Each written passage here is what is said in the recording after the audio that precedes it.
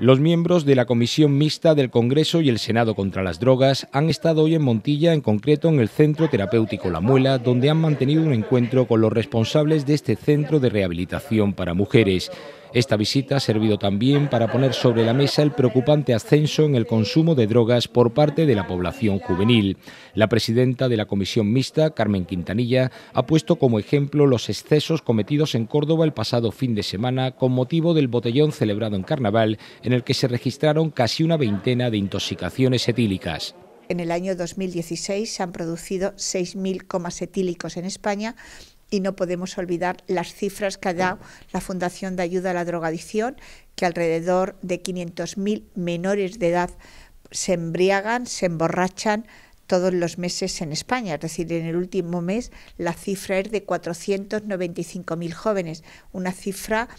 aterradora, aterradora para la sociedad en general, aterradora para la comunidad educativa y también para los padres, para esos padres y madres que indiscutiblemente quieren lo mejor para sus hijos y que desgraciadamente salen los fines de semana no a pasárselo bien, sino a consumir alcohol de una forma abusiva. La visita realizada esta tarde al centro de la muela ha servido también para dar a conocer la Estrategia Nacional para la Erradicación de las Adicciones en España. Para la presidenta de la Comisión Mixta contra las Drogas, hoy hablamos de consumo de alcohol como principal preocupación entre los jóvenes, pero hay que empezar a diseñar medidas contra otro tipo de adicciones que van en aumento provocando nuevos problemas.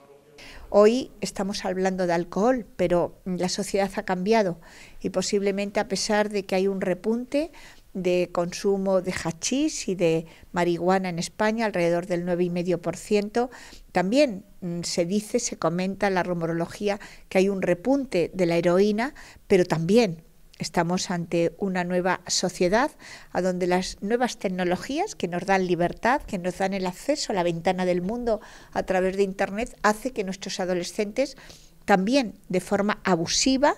tengan también una dependencia, porque hay ciberadición, porque hay acoso eh, sexual y acoso de todo tipo a través de las redes y también, como no, tenemos que decir que también hay dependencia en los videojuegos. Los miembros de la Comisión Mixta contra las Drogas han valorado especialmente el trabajo que se realiza en el Centro Terapéutico La Muela, donde una treintena de mujeres reciben terapia de rehabilitación sobre alcohol y drogas. Para su presidenta es uno de los colectivos más vulnerables de la sociedad, con múltiples problemas a su alrededor que en algunos casos llevan a las mujeres a problemas de adicción.